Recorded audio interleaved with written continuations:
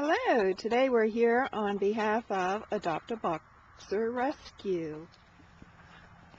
Alright, today we're with Adopt a Boxer Rescue, and I have with me Jen Kellenborn. Jennifer, who are you with today?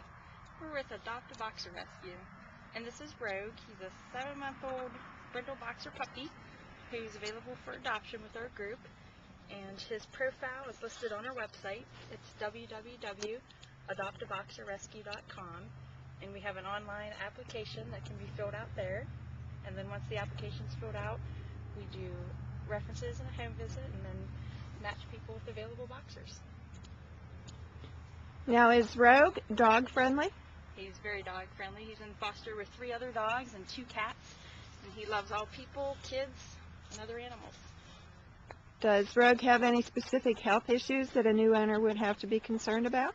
He has some deformities in his legs. Once he reaches a year of age, then he's in the clear and there are no health concerns from that.